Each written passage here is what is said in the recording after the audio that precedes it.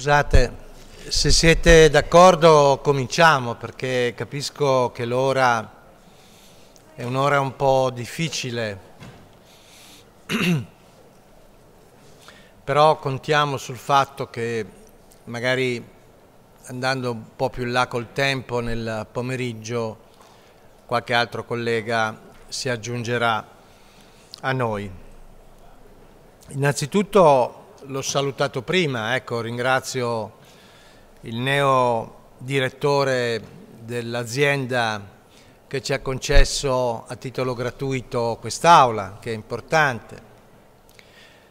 E eh, tra l'altro lui voleva portare un saluto, ma aveva un impegno, una riunione, quindi non si è potuto fermare. Abbiamo l'impegno di rivederci comunque dopo, l'ho invitato a farci compagnia in un nostro consiglio, quindi il neodirettore ha accettato, verrà in un prossimo nostro consiglio dell'ordine e eh, discuteremo anche con lui le questioni più importanti. Perché qui e perché questo tema? Innanzitutto avete visto un po' l'impostazione del pomeriggio di lavoro è un'impostazione che prevede una prima parte di informazione, cioè una sorta di carrellata su quello che è il complesso scenario della, della previdenza e dell'assistenza del medico e dell'odontoiatra. E poi eh, alla luce di questo, diciamo così, tratteggio di scenario generale, giusto per riprendere i fili portanti del ragionamento, Pensavamo di aprire al dibattito, alle domande, al faccia a faccia tra eh, eh, i colleghi della comunità medico-odontoiatrica torinese, ma qui ci sono anche presidenti di altri ordini della regione, e direi i diretti responsabili di questi enti e soggetti che si occupano appunto di assistenza e previdenza del medico e dell'odontoiatra.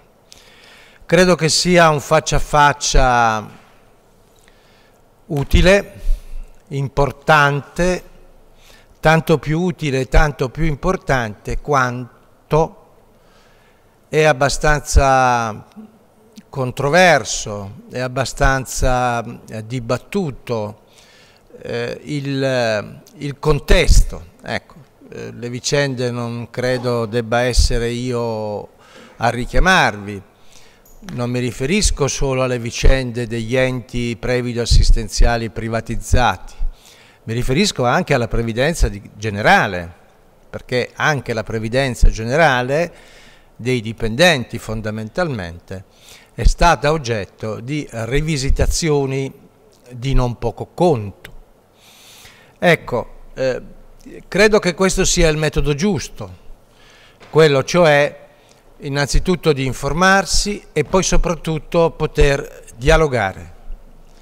Chi ha domande, chi ha dubbi, chi, posso dirlo, ha mal di pancia e mal di testa, lo dica adesso, perché credo che questo sia fondamentale per la tenuta un po' eh, del sistema prevido assistenziale, ma anche per la tenuta più complessiva della nostra professione, delle nostre professioni, perché stiamo parlando di medici e odontoiatri.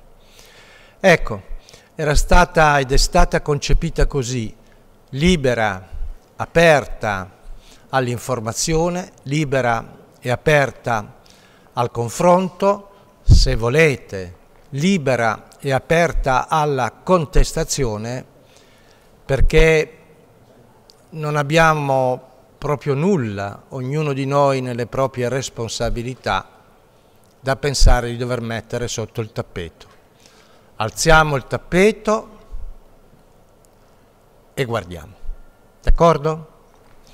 Allora, la giornata pomeriggio comincia così il dottor Carlo Sizia, che tutti conoscete, ci parlerà della previdenza del medico pubblico, cioè la previdenza pubblica. Il dottor Giorgio Cavallero, che tutti conoscete, ci parlerà invece in modo più generale del quadro delle tutele assistenziali e soprattutto i fondi pensione, i cosiddetti secondi pilastri, la cosiddetta previdenza integrativa.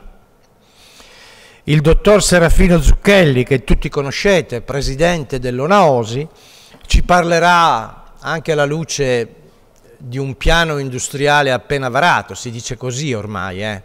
piano industriale appena varato della Fondazione Onaosi, ci parlerà del presente e delle prospettive di questa, come dire, benemerita fondazione e, eh, della, del medico. Credo che eh, quanti anni ha? Cent'anni. Quando è stata fondata? Nel 1900?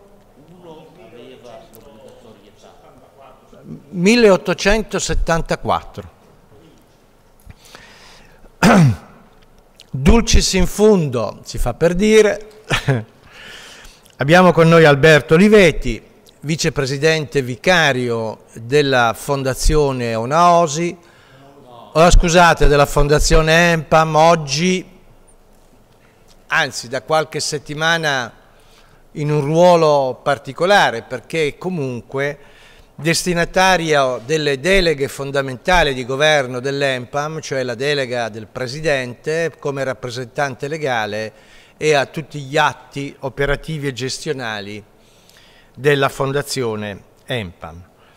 Detto questo, avranno 20 minuti, se un quarto d'ora è meglio, per provare a disegnare quella cornice e poi saranno a vostra disposizione per ogni domanda, ogni quesito, ogni chiarimento, se ritenete, ogni contestazione sul merito delle questioni.